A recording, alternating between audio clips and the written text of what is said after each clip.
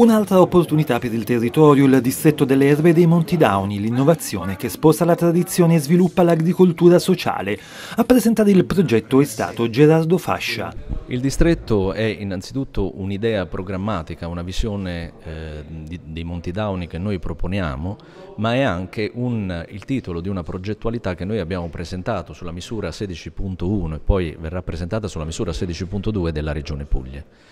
Il nostro è um, il tentativo eh, di eh, avere eh, una strategia a medio-lungo termine capire quali sono le, le vocazionalità del, del, nostro territorio e sopra costruirci eh, un'ipotesi eh, di eh, sviluppo che non sia eh, alternativo alle normali eh, diciamo, dinamiche agricole, ma che sia integrativo, che possa supportare il territorio a eh, venire incontro a quelle che sono delle problematiche tipo la, la scarsa redditività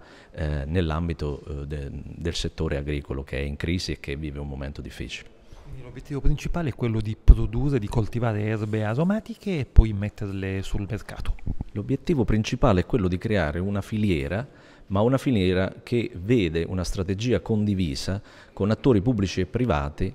alla base di questa, eh, di questa di questo di questo gruppo di azioni che rientrano in questa visione, in questa programmazione. Il tutto con la fattiva partecipazione di Conf Cooperative Foggia. Ma è un'occasione che è stata data alle cooperative che si occupano di sociale per sviluppare meglio la loro attività rispetto a delle persone che hanno bisogno di avere una terapia anche di tipo ehm, diciamo che si possa permettere di averlo a livello di contatto con la natura, con eh, eh, tutto quello che può essere l'ambiente che ci circonda e soprattutto tutto quello che può essere l'agricoltura che è anche un, un mondo dove si mette all'aperto le persone che hanno bisogno di, questa, di questo tipo di, di, terapie.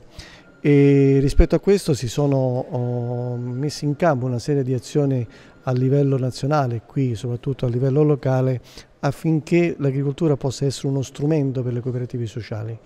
E tutto questo lo si fa con le diverse tipi di attività, si passa da quelle che sono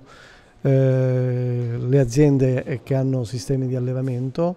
alle aziende che hanno la possibilità di seguire gli orti, alle aziende che stanno mettendo in campo anche attività diverse che sono quelli proprio del, di seguire le coltivazioni